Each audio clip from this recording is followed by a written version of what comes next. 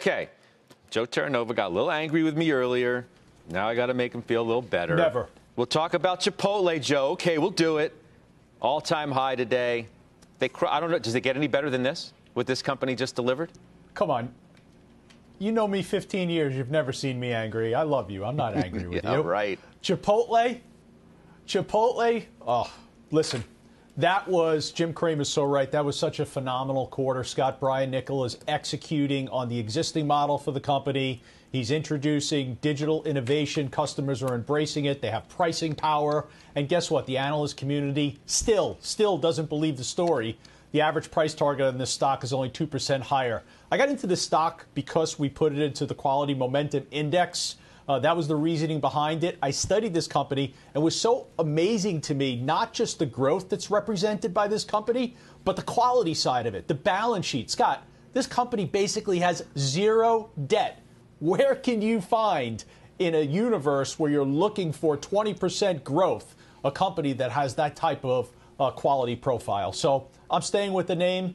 Uh, just an absolutely stunning quarter. I'll borrow Jim's words. Yeah, I mean, I, I, I listened to Jim this morning too talk about it. You know, you pick your superlative. I mean, it was a absolutely fabulous quarter, Doc. Great management. They're hiring tons of people. Cramer was talking mm-hmm. about it today. The menu's exciting. I mean, if you're looking for a restaurant related stock, yep. is this the one to buy? And I ask you that too, Doc, uh, with, with the caveat of it's at an all time high. Yeah, well, Scott, I'd say um, you look at Chipotle, you look at uh, um, Red Robin Gourmet Burger, which has actually outperformed Chipotle over the past uh, couple years. Um, yeah, pull that one up and take a look pull up uh, Jack, J A C K.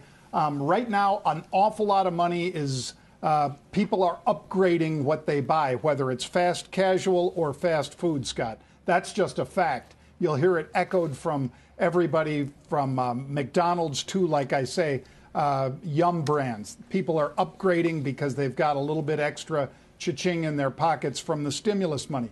And I certainly hope that continues, and I hope uh, that these stocks continue on this path. But like I say, I think Joe made a fabulous trade on this one. I think the, the worst trade here was McDonald's when they spun it out, um, you know, during their uh, troubles a few years ago, because Chipotle has been a fabulous trade, you know, with the only exception being, of course, when they had the tainted lettuce or whatever it was.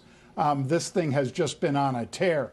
Uh, but fast casual as well as fast food um, have really benefited from what's been going on with uh, tossing money out uh, to perfect strangers, Scott.